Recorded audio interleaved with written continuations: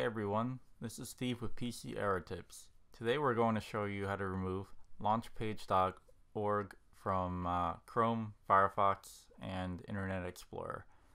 Um, so usually an easy way to check if you have this installed is to go to, uh, to launch Chrome.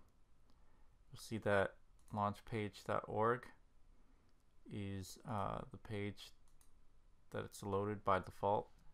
Same thing with uh, Firefox and uh, Internet Explorer. The easiest way to remove launchpage.org is to use a malware removal tool. The reason we need this is because if we try to reset the browser manually, the uh, malware will regenerate the URL. You can download the tool in the video by clicking the link in the description. To get started, let's launch SpyHunter. First thing we want to do is run a full scan. Depending on your system, this may take anywhere from 30 minutes to an hour. And uh, in this video, we sped up the video footage to get through the scan.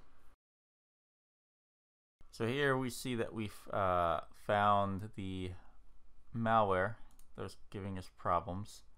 Uh, next thing we want to do is go ahead and remove this. This next step will take a few minutes.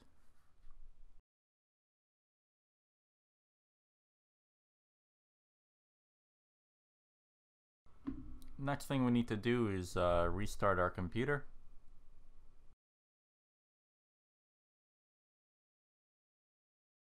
So then that, now that we've logged back in, we can see that Chrome has been restored.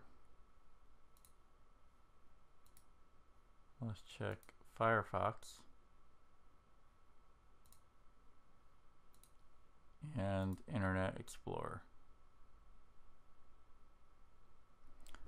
Now, if for some reason after running SpyHunter Pro, uh, your uh, URL still point to um, the malicious site, you can go ahead and uh, manually reset the browser one last time, and then that reset should stick this time around now that the malware has been removed.